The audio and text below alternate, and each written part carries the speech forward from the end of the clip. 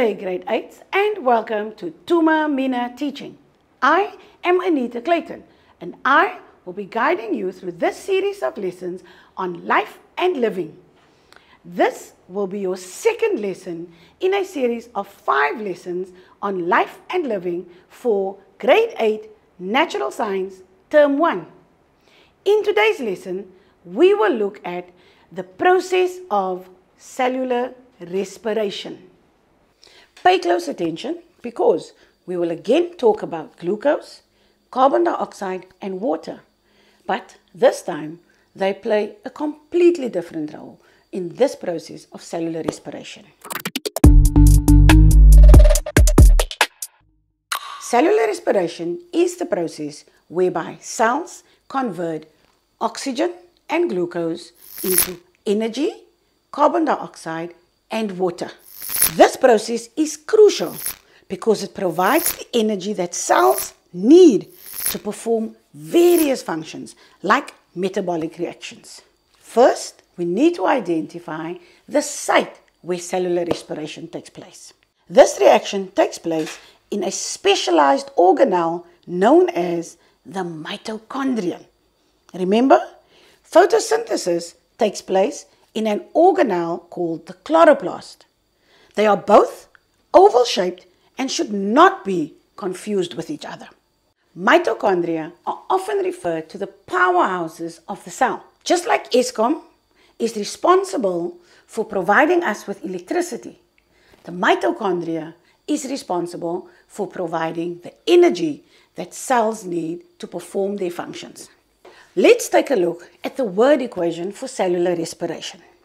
For this reaction to take place, we need glucose and oxygen. And after this reaction takes place, we produce carbon dioxide, water, and energy. So in this equation, glucose and oxygen are the reactants in this equation, whereas carbon dioxide, energy in the form of ATP, and water will be our products during the cellular respiration process.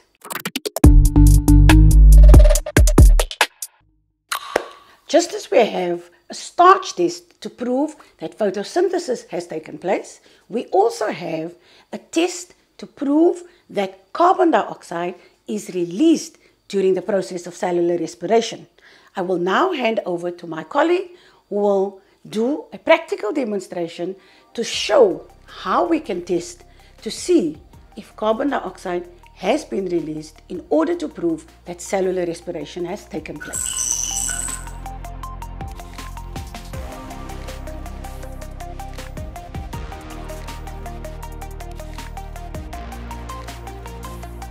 Welcome back to the lab. Now that you've learned more about uh, the process of cellular respiration, we're going to look at two very easy tests to test for the gas of oxygen and also for the gas of carbon dioxide.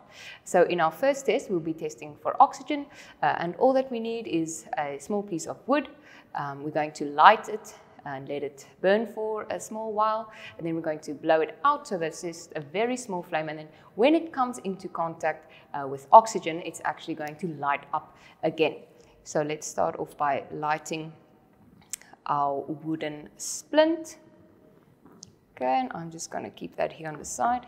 Then I have some uh, different chemicals here that we're just lighting and they are going to form a reaction where um, oxygen gas is formed. And so we're going to test that it is actually oxygen gas that is formed by placing the glowing splint into the test tube. And if it takes flame, um, then we know that it is oxygen that has been produced. If it does not take flame, then no oxygen has been produced. So we just have to light it up. Got our glowing splint over here, and as you can see, uh, it has lit up when exposed uh, to oxygen.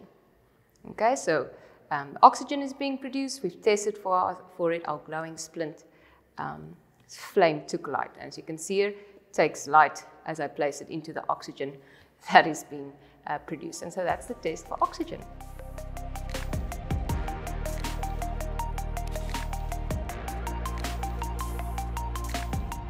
Now we will be doing our test for carbon dioxide gas. So what we need uh, is some lime water and I'm going to uh, blow through the straw into the lime water because when lime water comes into contact with carbon dioxide, it changes from a very clear see-through uh, to a milky color. And this is because the carbon dioxide will react with the calcium hydroxide um, and form what we call calcium carbonate, which is a solid. And so it will change uh, the lime water from see-through to a milky uh, color if there is carbon dioxide being um, uh, reacting with it.